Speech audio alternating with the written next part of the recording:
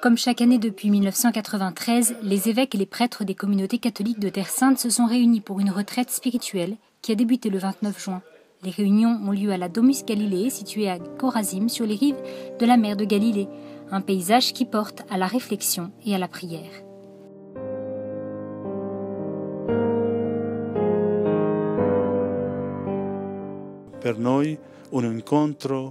C'est pour nous une réunion très riche, faite à son tour de petites réunions, avec des moments forts, qui nous font découvrir de nouvelles orientations pour faire face aux difficultés que nous rencontrons dans notre vie de prêtre et d'évêque.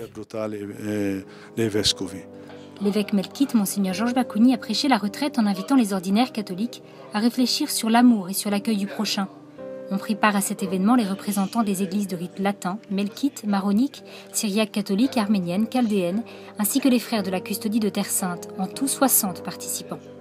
Un nombre plus élevé que l'année précédente, selon le père Pietro Fellette, secrétaire de l'Assemblée des ordinaires catholiques de Terre Sainte.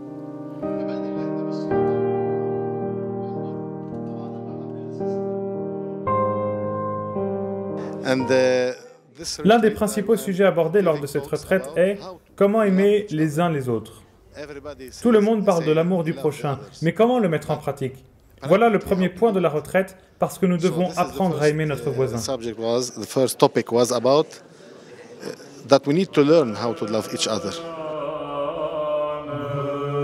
L'Église de Terre Sainte comprend des rites différents, une caractéristique tout à fait particulière. En 2007, le pape émérite Benoît XVI, lors de sa visite au siège de la Congrégation pour les Églises orientales, avait insisté sur cette diversité, exhortant les chefs des églises à conduire leurs fidèles vers l'unité. Que les églises orientales, confiantes en la Toute Sainte, cultivent cette diversité qui ne nuit pas mais exalte au contraire l'unité, pour que l'Église tout entière soit le sacrement de l'union intime avec Dieu et de l'unité de tout le genre humain mettait en évidence le pontife en citant un extrait de l'encyclique Lumen Gentium. En dépit de ces nombreux rites, le nombre de fidèles locaux ou de chrétiens arabes est relativement faible sur la terre du cinquième évangile et la diaspora est une réalité incontournable. Nous nous sommes rendus dans la ville de Bethléem, qui, selon la tradition, est le lieu où David est né et a vécu avant de devenir roi. La petite ville palestinienne aujourd'hui, entourée d'un mur, a ensuite acquis sa renommée mondiale avec la naissance du Christ, telle qu'elle est racontée par les évangélistes mais la ville voit sa communauté chrétienne s'amoindrir et quitter cette terre à la recherche de liberté et de nouvelles opportunités.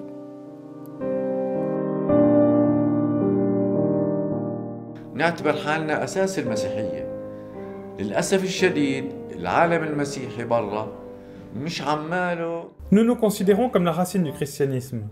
Malheureusement, le monde ne nous a donné ni la possibilité ni l'aide suffisante pour rester dans notre pays natal. Ici, nous voyons que la majorité des jeunes ne peuvent pas trouver de travail après avoir obtenu leur diplôme. C'est pourquoi ils sont contraints d'émigrer pour s'assurer un avenir. Cela nous rend tristes, mais nous demandons aux États chrétiens et aux chefs religieux d'aider les jeunes chrétiens à trouver du travail ici, à fonder une famille, afin qu'augmente le nombre de chrétiens sur cette terre, parce que sinon, le nombre ne fera que baisser davantage.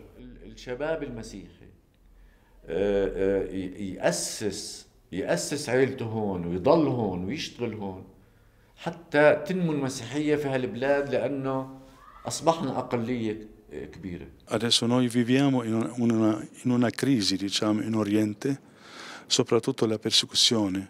Aujourd'hui, nous traversons une crise en Orient, en particulier avec la persécution perpétrée non seulement contre les chrétiens, mais aussi contre les musulmans modérés et contre les minorités orientales, comme en Irak et en Syrie. À notre avis, nous devons les aider à retourner dans leur pays pour y être des témoins de Jésus-Christ. Beaucoup sont martyrisés à cause de la parole, pour ne pas renoncer au Christ. Notre espérance est en Dieu. Il faut être patient, car à la fin, c'est lui qui sera vainqueur. la e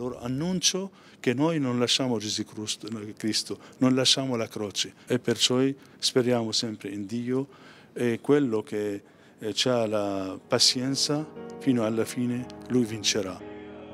Le contexte actuel pousse toujours davantage le clergé local à chercher des réponses dans la prière et dans des moments de partage.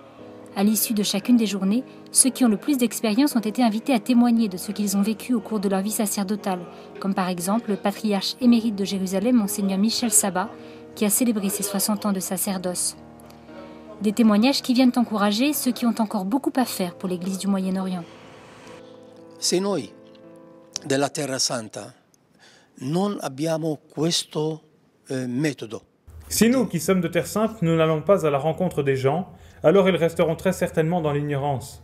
Mais lorsque nous promouvons des activités communes, les gens comprennent que nous sommes une seule Église, avec une diversité des rites et de noms, mais nous sommes l'Église du Christ. Con la diversità dei riti, con la diversità dei nomi, però noi siamo Chiesa di Cristo.